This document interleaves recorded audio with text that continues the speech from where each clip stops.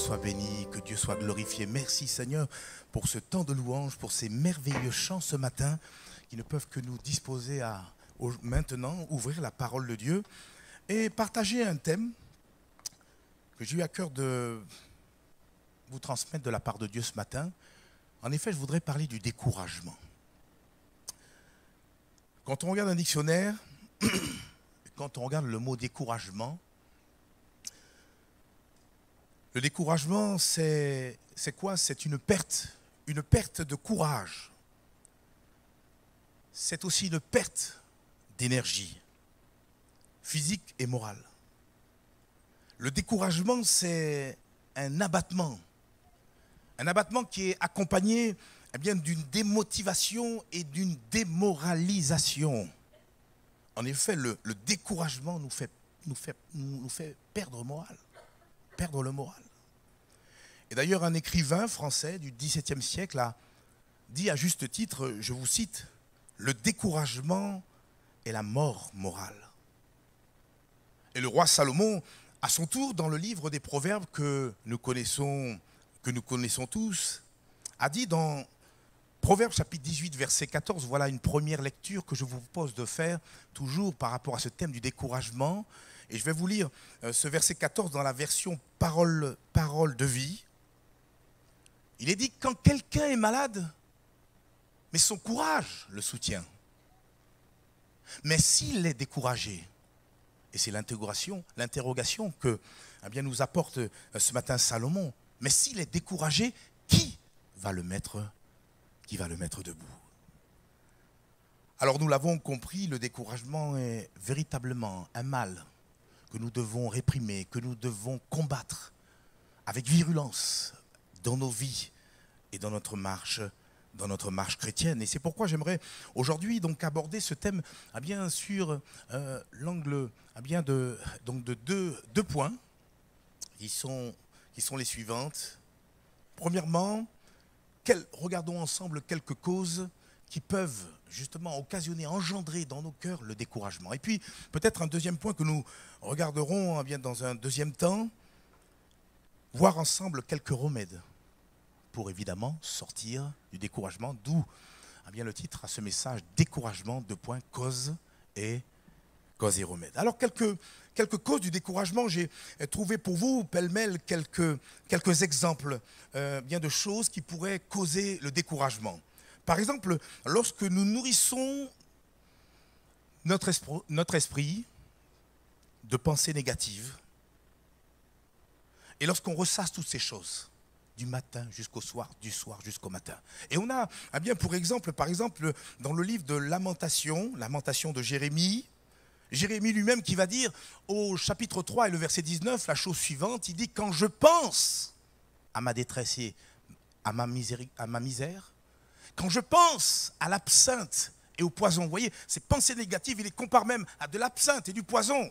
Qu'est-ce qu'il va dire au verset 20 Quand mon âme s'en souvient, elle est abattue au-dedans de moi. Autrement dit, mon âme est découragée au plus profond de moi-même. C'est clair et il faut qu'on le réalise. Il y a des pensées malheureusement qui sont négatives. Et tant que nous allons les entretenir, tant qu'on va les ressasser dans notre cœur, eh bien ces choses eh bien, pourront engendrer dans notre cœur le découragement. Et c'est alors que eh bien, ce même prophète, le prophète Jérémie, juste au verset 21, va prendre une résolution et il va dire, voici dorénavant ce que je veux repasser en mon cœur et ce qui me donnera de l'espérance. Et on aurait pu lire le verset suivant, le verset 22, et il rappelle que les bontés de l'Éternel, elles ne sont pas épuisées, mais elles se renouvellent pour nous chaque matin. Fixons nos pensées, alléluia, sur les réalités des promesses que Dieu nous a laissées. Et ne, laissons pas eh bien, ces pensées négatives venir eh bien, nous, nous donner à être plus bas que terre et quelque part nous décourager. Voilà donc un premier exemple ou une cause de découragement lorsque nous nourrissons notre esprit, notre cœur avec des choses négatives. Mais il n'y a pas que cela. L'échec, mais aussi la défaite peuvent susciter en nous le découragement. Échec parce qu'on a essayé toutes sortes de tentatives et puis à nouveau on a échoué. Surtout sous la même chose. On a essayé une fois, deux fois, trois fois, et puis à un moment donné, ça commence à user, et on finit par se décourager. Et je pense peut-être même à des chrétiens qui peut-être même ce matin sont là en lutte avec euh, peut-être un vice, un péché qui est là et qui revient en redondance, qui réapparaît, alors que vous pensiez avoir à bien fini une fois pour toutes avec ce mal qui vous ronge de l'intérieur. Et vous finissez par vous décourager, pensant que c'est quelque chose qui va rester à vie en nous. Frères et sœurs, que Dieu nous garde de, de ces sortes de raisonnements, parce qu'avec Dieu, tout est possible. La Bible dit, si donc le Fils vous a franchi, vous serez réellement libre. Il n'y a pas véritablement d'échec avec le Seigneur, parce que le Seigneur est capable de changer le mal en bien pour chacun, pour chacun d'entre nous. Autre exemple, ce sont bien sûr les adversités de la vie. Et ces mêmes adversités peuvent aussi susciter le découragement. On appelle, on appelle cela, pour utiliser l'expression, lorsqu'une tuile nous tombe sur la tête. On va gentiment auprès de la boîte aux lettres, et puis on voit un courrier eh bien, qui commence à nous donner à froncer les sourcils. Et quand on l'ouvre, ben, c'est l'apothéose. Parce qu'on n'avait pas prévu cette nouvelle facture dans notre budget. Et ça, ça nous contrarie. Ou non Ou c'est arrivé qu'à moi? Ou bien vous avez amené pour la énième fois votre voiture chez le réparateur, chez le mécanicien. Et vous voyez même devant le mécanicien que tout, oh, tout, fonctionne très bien, la voiture ronronne comme un petit chat. Et puis vous faites quelques mètres, et puis elle retombe à panne. Et là, on est abattu. Là, on est découragé. Et je pourrais, comme ça, rallonger la liste. Toutes ces adversités de la vie peuvent être source de découragement. On a parlé tout à l'heure des pensées, mais je peux aussi faire mention des paroles. Il y a aussi des paroles négatives qui peuvent susciter en nous le découragement. C'est pas pour rien qu'à un moment donné, Jésus a questionné, vous savez, ces deux disciples qui étaient sur le chemin d'Emmaüs. Ils donnaient d'eau à bien Jérusalem et, ils allaient à bien vers une autre ville. Mais ils étaient découragés. Et Jésus va leur poser la question suivante, Luc chapitre 24 et le verset 17. Jésus leur pose cette question et leur dit, de quoi vous entretenez-vous en marchant pour que, conjonction de coordination, pour que vous soyez tout triste. Donc il y a quelque part des conversations, même des paroles qui font que, eh bien, en retour, il y aura de la tristesse qui va se produire dans notre cœur. C'est pourquoi le Seigneur nous demande en retour de, au contraire, nous entretenir, eh bien par des hymnes, eh bien par des cantiques spirituels, comme le dit Éphésiens chapitre 5, verset 19, comme on l'a fait ce matin, chantant et célébrant de tout votre cœur les louanges du Seigneur. Pour ne pas laisser le, découragement venir nous terrasser, nous écraser, parce qu'on peut tous connaître le découragement. Mais il s'agit eh bien de bien réagir. Et l'une des façons pour bien réagir, c'est justement, mais Seigneur, je ne veux pas me laisser abattre. Je vais eh bien commencer à chanter, louer mon Seigneur et proclamer la victoire. Et on l'a entendu au travers des dons spirituels que le Seigneur a remporté, eh bien, il y a plusieurs siècles de cela, sur la croix, que son nom seul soit, soit béni. En parlant des paroles, rappelez-vous quand le, Moïse a envoyé les douze espions, eh pour aller explorer le pays eh de, Canaan, de Canaan, le pays promis. Et vous n'êtes pas sans savoir que 10 de, ces 12, 12 espions, excusez-moi, eh ont dépeint un, pays d'une manière négative et ont réussi quelque part à décourager le reste, eh bien, de tout le peuple. Si bien que ce même peuple a pu eh bien s'exprimer de la manière suivante, Deutéronome chapitre 1, verset 28, je vais vous lire ce verset dans la version parole de vie. Pourquoi aller là-bas? Autrement dit, pourquoi aller au pays de Canaan? Nos frères nous ont complètement découragés. Vous savez que ça existe, le ministère de découragement? Parce que de toute façon, on trouvera toujours une imperfection quelque part. Parce que bien sûr, ici-bas, il n'y a pas de perfection. Nos frères nous ont complètement découragés. En effet, ils ont dit, les habitants de ce pays sont plus forts, plus nombreux que nous. Leurs villes sont grandes et protégées par des murs qui montent jusqu'au ciel. Voilà, je pense que même les Marseillais, ils n'auraient pas fait mieux. Ils ont même vu des géants, les gens de la famille de qui? D'Anak. C'est un fait. Certaines paroles décourageantes peuvent être contagieuses, puisque ce jour-là, à cause de leur incrédulité, le peuple a dû rebousser chemin et tourner pendant 40 ans dans le désert, tout près du but, mais n'ayant pas pu y entrer à cause à eh bien, de paroles incrédules. Je pourrais peut-être interpeller tout ce qui peut s'appeler parents dans l'auditoire, en nous rappelant aussi que l'une des causes du découragement, c'est lorsque nous, parents, nous pouvons quelque part être source de découragement pour nos enfants. Mais ce n'est pas moi qui le dis. Quand on lit dans le livre, l'épître de Colossiens, chapitre 3, au verset 21, Paul lui-même, après avoir encouragé les enfants à obéir à leurs parents, il va se tourner vers les parents et va leur dire Père, n'irritez pas vos enfants, de peur qu'ils qu'ils ne se découragent. Et on l'a compris, l'éducation ah que nous devons apporter nos enfants, c'est une grande responsabilité. Vous savez qu'un jour, le Seigneur nous demandera compte des enfants dont nous avons la charge, des enfants que le Seigneur lui-même nous a prêtés, parce qu'au final, nous appartenons tous au Seigneur. Et bien sûr, quand on parle d'éducation, il faut que cela soit basé sur l'amour de Dieu, il faut que cela soit basé aussi sur la sagesse, mais aussi sur l'équilibre. Équilibre qui fait que eh bien, nous n'allons pas tomber dans des cas extrêmes. Quel cas extrême je veux faire mention Par exemple, le laxisme. Et les parents, il ne faut rien. À moi, je ne toucherai pas mes enfants, je ne leur dirai rien, ils feront ce qu'ils veulent. Ça, c'est un extrême. Et ce n'est pas du tout biblique. Mais l'autre cas extrême, c'est de dire, ben, ah bien, moi je vais les verrouiller, je vais les cadrer, je vais les... Sévérité excessive. Qui font que, au final, eh bien, on finit par décourager les enfants plutôt qu'autre chose. La Bible dit dans le livre des Proverbes, par exemple, un verset parmi tant d'autres, hein, je pourrais vous en trouver deux ou trois, toujours dans cette même pensée. Dieu qui parle par la bouche de l'homme le plus sage au monde, châtie ton fils. Autrement, dans l'éducation, corrige-le, car il y a encore de l'espérance. Parce que ne me faites pas dire ce que je n'ai pas dit. Il y a correction et correction. Et d'ailleurs, pour voir la, dextérité des mots eh bien, que, que va utiliser notre ami Salomon, il dit, mais ne désire point le faire mourir. C'est ça l'équilibre. Et je peux vous le dire, je l'ai déjà dit ici en ce lieu, moi je suis très fier, même à bien des corrections que Dieu, que, que Dieu, que mon papa, mes parents m'ont donné. M'ont donné un jour avec mes frères, on a failli mettre le feu à la maison. Et il fallait bien que mon, père en particulier rectifie le tir. Et je vous assure que j'ai été guéri, j'ai plus eu envie par la suite de mettre le feu à, eh bien, à droite ou à gauche.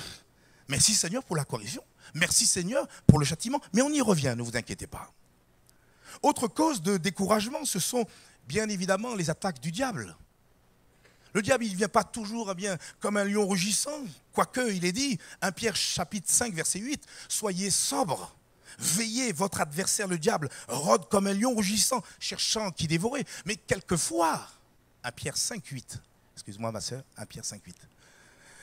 Mais quelquefois, le diable, il vient tel un serpent. Et s'il n'arrive pas à bien à, nous arrêter, qu'est-ce qu'il va faire? Il va nous pousser. Il est à la base de tous les luttes, les oppressions spirituelles, tout cela pour arriver à saper notre foi et quelque part, à bien arriver à, à nous décourager. Et c'est pourquoi le Seigneur en retour nous demande de prendre toutes les armes. Et c'est le temps qui nous manquerait pour les énumérer ce matin. Éphésiens chapitre 6. Les armes. Vous les connaissez?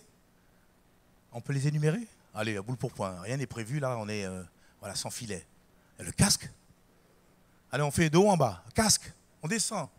Cuirasse de la justice. Après, dans les mains, l'épée de l'esprit. Et de l'autre côté, le bouclier de la foi. Et puis un peu plus bas, au niveau des reins, la ceinture de la vérité. Et puis un petit peu plus bas, les chaussures que donne le zèle de l'évangile de paix. Je précise, évangile de paix. On n'est pas là à guerroyer. On est là avec la douceur, la dextérité, la sagesse du Saint-Esprit à bien annoncer ce beau message de l'évangile. Et puis j'ose rajouter cette, cette septième arme qui est la prière. Et face, quand le chrétien est équipé de tout ça, il peut faire face aux attaques de l'ennemi. Quelquefois, on se lève le matin, on ne sait pas. On est découragé, on ne sait pas d'où est-ce que ça vient. On ne sait pas pourquoi. Mais quelquefois, c'est des flèches de l'ennemi. Mais le Seigneur, il a dit avec le bouclier, on peut éteindre tous les traits enflammés du malin, que Dieu soit béni. Je voudrais même étonner quelqu'un, toujours pour continuer la liste des causes qui peuvent provoquer le découragement chez nous, et dire que Dieu peut devenir la cause de notre découragement. Et c'est là qu'il y a un grand silence. Lorsque par exemple Dieu nous reprend et nous corrige, comme le ferait un père ou une mère à l'égard de ses enfants Regardez avec moi. Hébreu chapitre 12, versets 5 et 6. Et vous avez oublié l'exhortation qui vous est adressée comme à des fils. Mon fils, et j'ose rajouter, ma fille, ne méprise pas le châtiment du Seigneur et ne perds pas courage lorsqu'il te reprend. Et il précise, car le Seigneur châtie qui? Celui qu'il aime. Et il frappe de la verge tous ceux qu'il reconnaît pour ses fils. Frères et sœurs, vous avez lu avec moi? Et il frappe de la, de la verge. Oh, euh, il y a très peu qui ont parlé là. Et il frappe de la verge tous ceux qu'il reconnaît pour ses fils. Mais il ne le fait pas d'une manière méchante, il ne le fait pas pour détruire, il le fait pour eh bien, nous aider dans notre éducation spirituelle, dans notre marche avec le Seigneur. Et merci au Seigneur, toutes les fois il nous a repris. Amen ou pas Amen? Parce qu'il est dit, d'ailleurs, vous lirez euh, donc la suite, que s'il ne nous châtie pas, comme il devrait le faire, tel un père le fait à l'égard de ses enfants, mais nous serions des enfants illégitimes. Mais ce matin, si vous êtes enfant de Dieu, acceptons euh, pleinement quand le Seigneur nous reprend, quand le Seigneur nous châtie. Parce que c'est preuve que nous sommes, que nous sommes ses enfants. Ne perdons pas de vue que Dieu, notre Père céleste, nous éduque pour notre bien spirituel. Alors, vous comprenez qu'on pourrait comme ça rallonger la liste eh bien, de différentes causes qui pourraient produire le découragement chez nous, mais on va s'arrêter là. Et peut-être regarder le deuxième volet, le deuxième point que j'aimerais partager avec vous pour terminer ce partage avec quelque chose d'un peu plus positif en parlant bien sûr de quelques remèdes que Dieu met à notre disposition pour justement bien sortir de toute forme de découragement pour qu'en retour nous puissions prendre courage dans le Seigneur Jésus-Christ. Et je voudrais m'adresser à quelqu'un qui serait découragé ce matin. Vous savez, ça ne se voit pas forcément sur les visages, mais peut-être que le cœur est abattu, le cœur est découragé. Ce matin, le Seigneur est venu te rencontrer. Quelques remèdes pour reprendre courage, on est sélectionné pour nous deux ou trois, pas plus. Par exemple, le premier qui pourrait aussi surprendre, c'est la communion fraternelle. Et j'ai béni, le Seigneur pour euh, ce, cantique qui a, été, euh, qui a, été, partagé ce matin. Nous sommes une famille, nous sommes unis et nous faisons partie eh bien, de cette grande famille de Dieu. Mais soyons honnêtes, souvent lorsqu'on est découragé, on n'a pas trop envie à bien de pouvoir être confronté à la grande famille de Dieu. On aurait plutôt, soyons honnêtes, tendance à pouvoir s'isoler, voire même pour certains se renfermer sur elles-mêmes. Pourtant, j'ai envie de nous dire, ne restons pas seuls et isolés longtemps. C'est humain. Quand on s'isole, on est là dans l'abattement, on est là dans la réflexion. Mais le conseil que Dieu veut nous donner ce matin, ne restons pas seuls et isolés longtemps. Pourquoi je dis cela? Parce que c'est exactement ce que le diable veut. Essayez d'isoler une brebis quelque part pour mieux la terrasser, pour mieux l'attaquer. Parce que nous sommes un seul et même corps. Et nous avons besoin, par l'unité du Saint-Esprit, nous fortifier, nous encourager les uns les autres. Frères et sœurs, c'est véritablement une réalité. Je crois qu'au contraire, il y a de l'encouragement lorsque nous nous retrouvons eh bien, là chaque dimanche ou même eh bien, au travers des réunions hebdomadaires. C'est exactement eh ce que, quelque part, le Seigneur désire au travers de nos rassemblements, que nous puissions, même par un sourire, nous encourager les uns les autres. Inspiré par le Saint-Esprit, dire à quelqu'un, mon frère, ma soeur, courage, que le Seigneur te bénisse. Et je crois que Dieu, dans la grande famille que nous formons, est capable de susciter un frère, une sœur, qui sera, entre guillemets, ce compagnon qui va eh bien, nous accompagner durant cette période de découragement. Un compagnon qui va, au-delà peut-être des, encouragements qu'il pourrait nous donner, nous proposer de prier avec nous. Parce qu'il faut que ce compagnon soit spirituel. Hein. Si c'est un compagnon qui, en plus de vos découragements, vous enfonce, c'est pas la peine. Mais je parle de quelqu'un qui est spirituel et qui, eh bien, dans le silence, sera, et d'une manière à me dire, écoute, je ne sais pas tout ce que tu es en train de vivre, mais voilà ce que je te propose. Viens, on va se mettre à l'écart et on va prier. Ou bien, eh bien sache, tu as eu ce courage de me parler de ton découragement. Je vais prier de mon côté pour toi. Oui, une parole qui va encourager, une parole, eh bien, ou bien même une, oreille attentive. Quelquefois, il faut juste se taire et entendre les doléances de quelqu'un. J'avais en, son temps parlé de, l'expérience de Paul. Paul a aussi connu le découragement. À un moment donné, il se retrouve en prison à Rome. Et pour lui, c'est bientôt la fin, il le sait. Mais la Bible nous raconte qu'il y a à bien certains chrétiens qui sont venus de Rome à bien venir le visiter. Ils ont quand même fait 50 kilomètres. Et c'était ni en bus ni en vélo, c'était certainement à pied.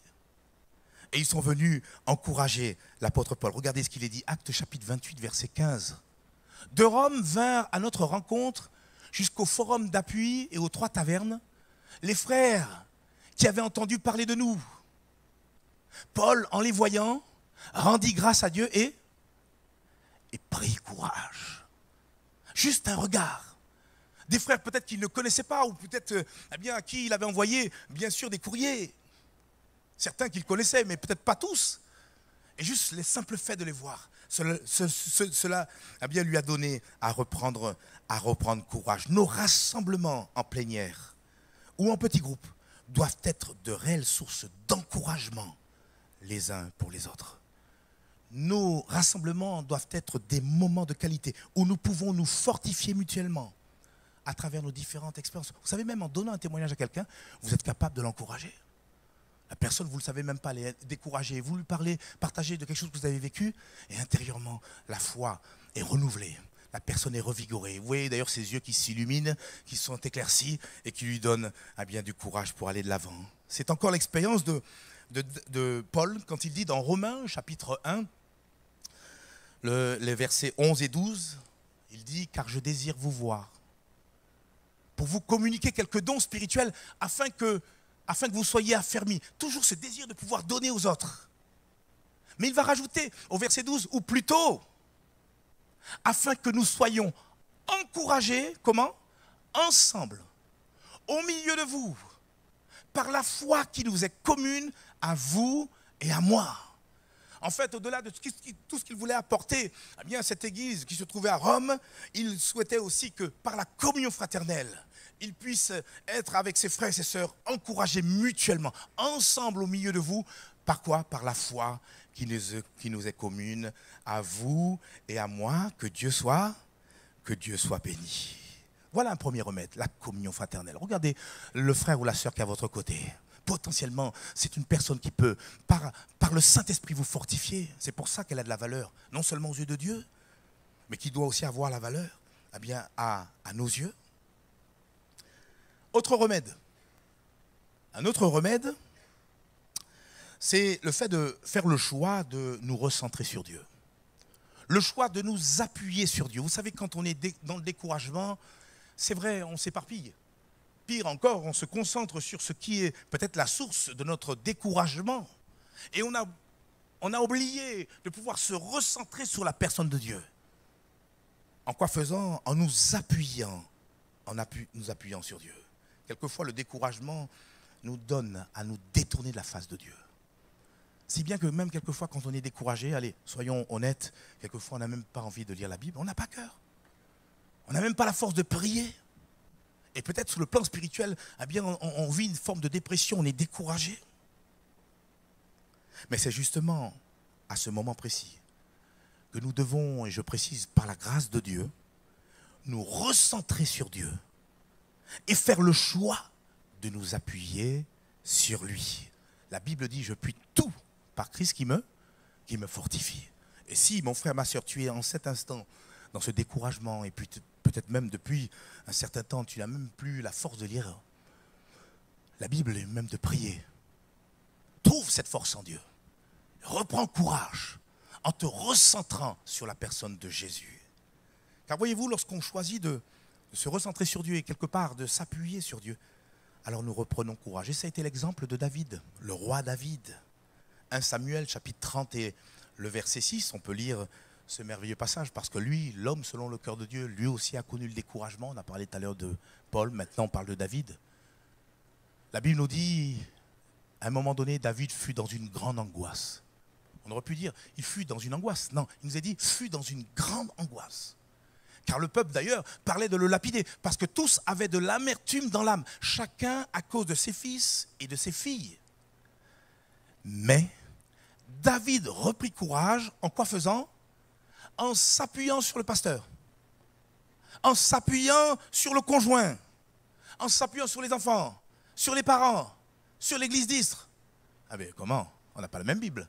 Mais David reprit courage en s'appuyant sur l'Éternel, son Dieu. Frères et sœurs, ce matin, appuyons-nous sur Dieu. Comptons sur lui. Alors certains pourraient me dire, mais qu'est-ce que ça veut dire s'appuyer sur Dieu? Eh bien, lorsque je prends Dieu pour appui, je fais le choix compter sur lui. Lorsque je prends Dieu pour appui, je choisis de me confier en Dieu. Je choisis de croire ce que Dieu dit et croire ce qu'il est. Il est le Dieu Tout-Puissant. Il est celui qui connaît eh bien, ce que nous sommes en train de vivre. Et il a le pouvoir, il a la capacité de changer le mal en bien dans notre vie. Amen ou pas Amen, frères et sœurs? En s'appuyant sur Dieu. C'est le temps qui nous manquerait, on le découvrait au des, des versets suivants. David non seulement a repris courage, mais mieux encore, eh bien, tout ce qu'il avait perdu, il l'a retrouvé. Parce que Dieu n'abandonne pas ses enfants.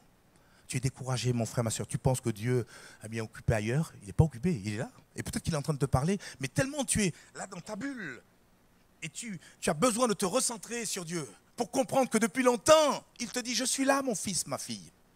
Je ne t'ai jamais abandonné, au fait. Et même quand tu dors, je suis là et je regarde. Alléluia, je veille sur toi.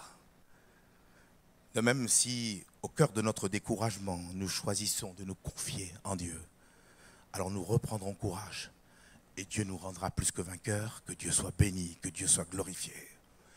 Donc quelques remèdes, quelques solutions eh bien, pour faire face au découragement. On l'a vu, la communion fraternelle, on vient de le voir, la nécessité de se recentrer sur Dieu. Et là, on pourrait encore expliciter, recentrer sur Dieu, c'est retrouver une communion avec le Seigneur, reconnecter avec lui. Voyez-vous, c'est ces disciples qui étaient là, agités dans la barque mais ils ne s'étaient pas centrés pleinement sur celui qui était eh bien, avec, euh, avec eux dans la barque. Ils ont regardé eh bien, le mugissement des flots, ils ont regardé plein de choses, au point qu'ils ont dû réveiller le Seigneur, Seigneur, nous périssons. Mais quand ils se sont recentrés sur celui qui était dans la barque, les choses se sont calmées, c'est le cas de le dire. Jésus, par un mot, va dire à la, à la mer, tais-toi. Il va dire au vent, tu te calmes et là, un silence limpide. C'est exactement ce que Dieu veut faire dans un cœur ce matin. Et je voudrais terminer bien sûr ce message, puisque je vous ai parlé de deux ou trois points.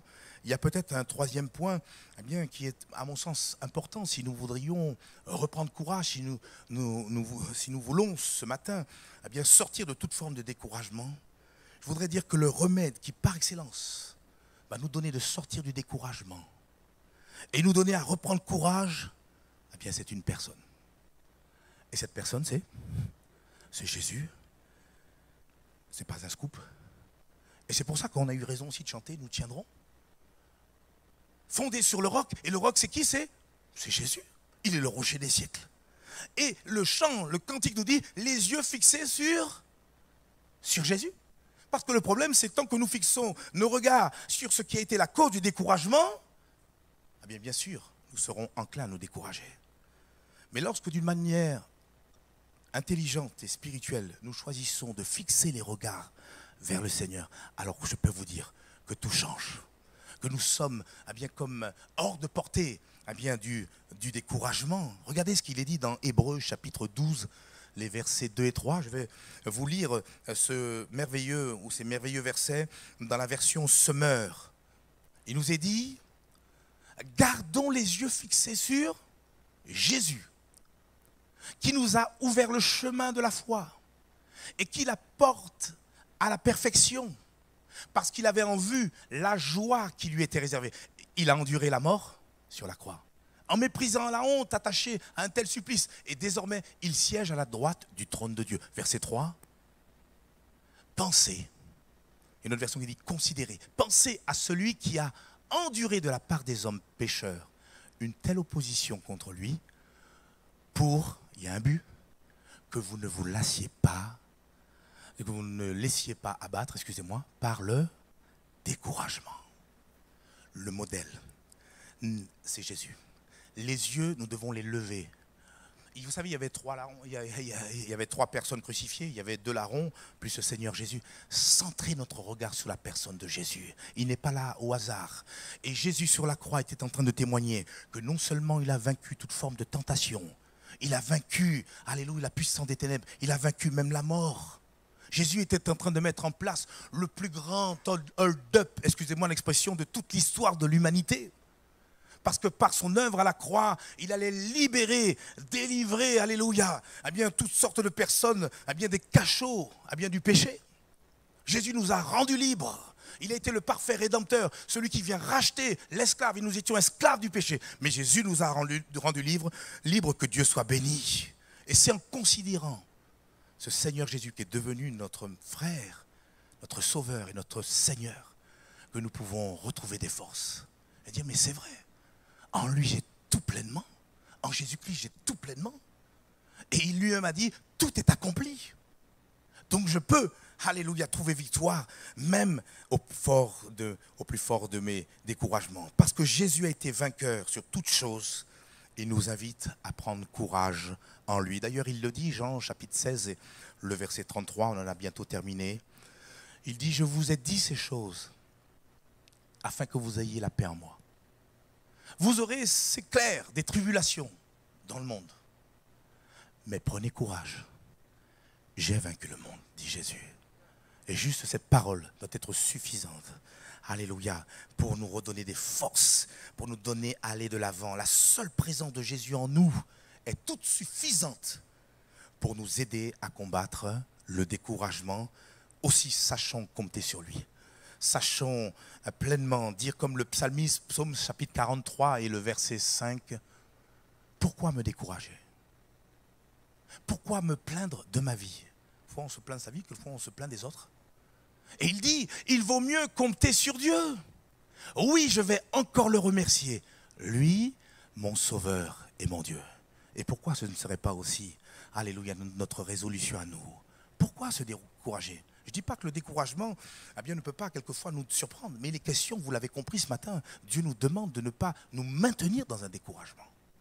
Dieu veut que nous puissions en sortir et que nous puissions en sortir victorieux. Alors que dire en conclusion, nous avons vu ensemble quelques causes de découragement. Et il est certain, je le répète, qu'il nous faut combattre violemment ces choses. Combien de personnes se sont découragées? Des gens même qui chantaient avec nous? Qui se sont peut-être même découragés à cause du confinement à cause, et qu'on ne voit plus? Sans dit long sur peut-être les racines qui doivent être profondes. Mais tant que nous sommes ancrés, enracinés en Dieu, sur le roc, comme nous l'avons chanté, les yeux fixés sur le Seigneur, frères et sœurs, nous serons hors portée, alléluia, à bien du découragement. Et je voudrais terminer juste en peut-être m'adressant, on peut baisser les têtes et fermer les yeux, et m'adressant à quelqu'un ou quelqu'une qui, ce matin, pourrait être découragé. C'est le rendez-vous que le Seigneur voulait te donner ce matin. Et toi qui as besoin d'être encouragé, écoute le message que Dieu lui-même donne par la bouche de son saint prophète, le prophète Ésaïe.